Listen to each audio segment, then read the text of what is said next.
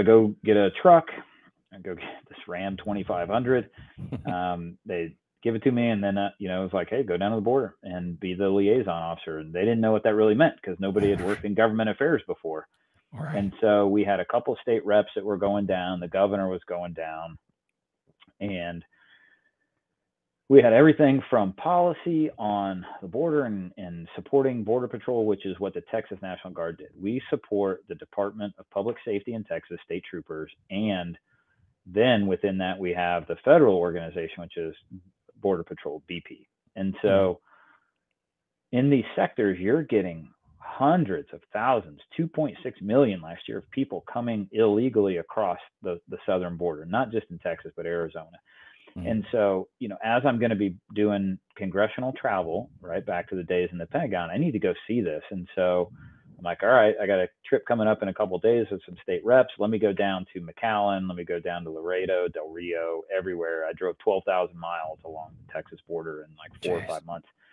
And I would just link up with the ground unit and I would go out with them on a mission or a couple missions and we would just grab, you know, we'd chase drug dealers and the folks smuggling, human traffickers, and then we would, you know, also see the families that are coming across trying to just get processed. So, Yeah. I mean, it was it was absolutely bananas seeing everything from the wall, the Trump wall, different parts of the wall, to you know being on the Rio Grande. I mean, I've set foot on the Rio Grande everywhere from where it enters into the Gulf of Mexico all the way to El Paso, um, and and walked many of miles of that, and have been kind of involved all around it. Um, Yeah.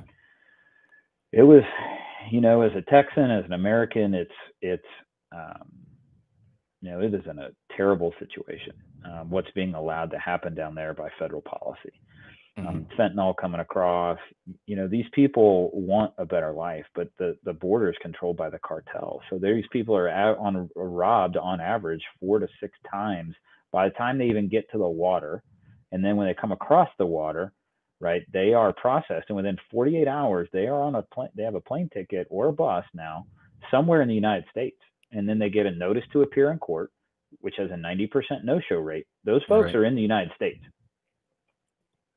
and we have no way to track them Yeah. so you know for the It seems crazy town- to me that that's yeah. That, it, that's the it would policy. blow your it would blow your mind when you see the hundreds of people per hour that are coming across per hour. We were down, we saw a guy, and and you know I'll send you some photos. We saw a guy transporting a mule, transporting folks across. And by the time we parked, and you have to lock your truck when you're on the border. By the time we parked and drove back, there was 150 people that had come in on the road behind us when we were driving back. Jeez. Yeah, I mean, that it- probably happens uh, on a daily basis. I'm sure. it, it- hourly, hourly it happens. Hourly. and all along that border. Um, I had the opportunity to be on on do a boat tour with Department of Public Safety. We had some cartel folks on the south side. You know, we pull up and we just turned the corner on the Rio somewhere, and they were shuttling 15 people on a small raft across, and so we interdicted them and pushed them back. And now the thing is, those people. It's a fine line, right? If they're already on foot, we're not pushing them back because they're on U.S. soil which Yeah. U.S. U.S. soil down there is, you know, your yard to your neighbors. I mean, Right. Now you're under this whole different set. Well, those people now have paid, you know, three to five thousand dollars to even get access to the Rio. Now they don't get across. It's not like that mule is like, ah, we'll try again. That mule is now charging them another three or five thousand. Right. You know, he's Yeah. He's not giving their money it. back. Yeah. no, he's not. man. And so it's a terrible, terrible system um, for folks. You know, Yeah. I mean, it almost seems like, and this is kind of just my personal view, but it, it almost seems like it would be better to just pour assets, pour resources to the border, process these people correctly, take their fingerprints, take their picture, you know, find out where they're going to go, maybe give them some food and water, and then maybe send them on their way. It's as well, opposed so to that falls under Title 42. So they're doing that, right? The, the your point. We can't do that as state activated agents, right? The border is a federal mission, and so they need to provide, bureaucracy, man. A, yeah, they need to provide the resources to do that. Now the the problem is, right, in Del Rio, a couple hundred miles. You can look at, look where it's at. yeah, Uh, but they have so many people coming across that the border patrol agents it takes you know anywhere 40 to an hour 10 to process one person when you have a thousand people in a day now these agents are processing those people do exactly what you're talking about but no one's securing the border in their 500 miles because they're in the station processing Yep. so, So everybody, so you got all these people that are that are processing, but you got however many more just coming through. Yeah. just flow. I mean, drugs, people. I mean, I like for perspective, man. I was down. What one of the things I like to do when I was down on the border was in the evenings. I wanted to smoke a cigar uh, uh, and look over the Rio Grande and watch the sunset on the Rio Grande. I knew, you know, by now I'd realized this is going to be a moment in time where I get to do and participate in in federal and international policy like this Sure. and so I just wanted to sit at the end of the day and think about it and just just have a few minutes to reflect with the guys that w- that I was working with down there. And Yeah. so we'd take truck, grab cigars, sit there, and in Laredo, in Laredo, in that one hour of sunset, a hundred yards from us. So picture this: you've got me, you know, clearly in a vehicle. You've got another buddy of mine in a vehicle, and there's three or four of us, you know, cowboy hats. Like we are not locals. Right. You've got 100 yards to the left, a Border Patrol vehicle, 100 yards to the right, Border Patrol vehicle, 200 yards further down, Border Patrol vehicle. Okay. You've got these guys, and, and the Rio Grande, for perspective, is only about 15 feet across right there. Okay. These guys are fishing and they're putting loading vehicles in between us, backing up with people running and jumping in their truck and driving off. I look over, it just, sun had just set. I mean, just set, dark, finishing the cigar. And I look over and 15 yards away, two guys are crawling on their hands and knees trying to get past me. Jeez. And this is in the course of an hour. I mean, And- they're not even. It's so bad that they're not even like trying to. There's not even. They're not, they're just coming right by you. They're. It's just like they're not Yeah, even I trying mean, to you- get down the river or you know.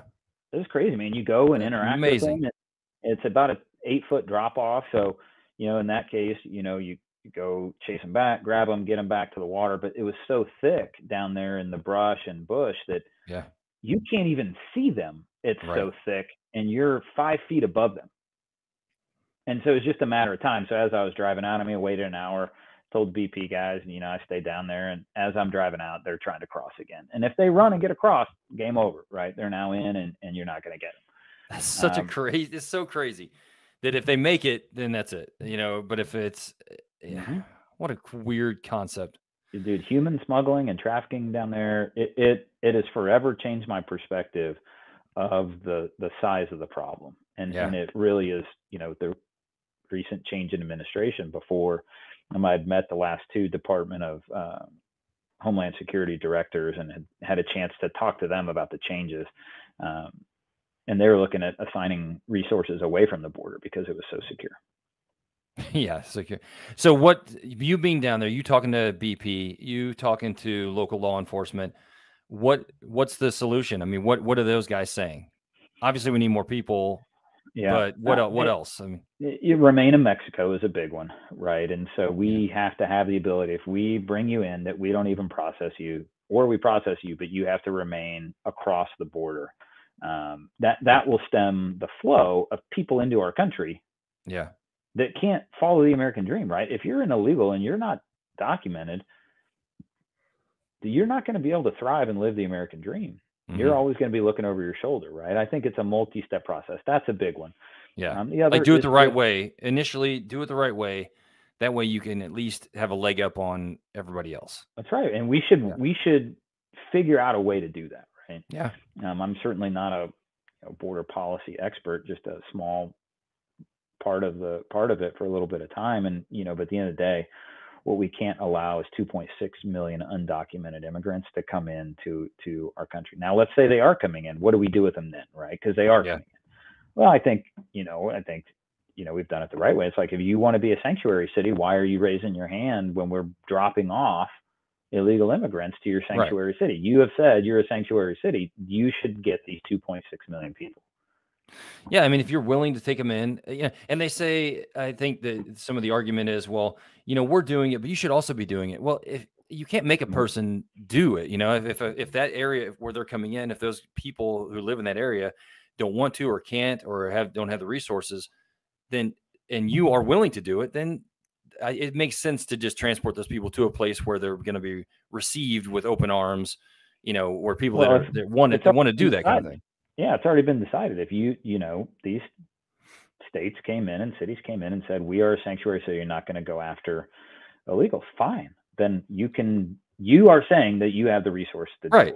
and it's not like an uh, it doesn't have to be like a like a point of contention. It just it, it no. should just be like well no oh great. I'm, that's wonderful that you guys are doing this. Here they go. Here they are. Yeah take care yeah. of them I don't yeah. see what the issue is, right? I don't, I don't either. Yeah. Political theater. I'm like, uh, look, you said this is what you want. Cool. Now deal with it. I, you know, they blame uh, they blame leaders uh, trying to sneak them in or using them as pawns. But I'm like, I, you could call it that, and maybe I, they maybe could have done it a little bit different. But at the end of the day, regardless of the, how they got there, you want you're willing to accept them. So you know, take care of them. Mm-hmm. Right. And wouldn't you say? Uh, how would you? I mean, is a wall a thing? I mean, do you think a wall would? Yeah, are the, it is a thing, right? The the. I mean, what it, is is it uh, an effective measure? I guess is yeah, it absolutely is because it canalizes people into checkpoints. Right. And and the wall that we had before was like eight feet high. Yeah. Right. You, you're going to get over that. Now sure. people will talk about the Trump wall and sections of it, and I've seen you know where the new sections were, and like I've seen the whole thing um, because I drove it you know, yeah. drove along it. And that wall in particular, it's not a Trump wall. It was the wall that was done before. So I'm not talking about that section of what they put in, but I'm talking about the type of wall that was used before and what they were doing. And it's a 30 foot barrier that is extremely difficult to get over. Now they're taking PVC ladders and they're doing it, but the flow of people that can come across that aren't. And we have sensors and lasers and everything to get over there. Right, right. Um, so you know you can stem that flow as much as we can, and I think I think we should. Yeah. Um, but there's also At areas least it... that you don't need it, right? For, right. Big Bend, the whole area out there, you don't need that wall. Yeah. So nobody's coming across that way. Yeah, but I think. Yeah in my mind, the border was way more secure than it is until I showed up down there.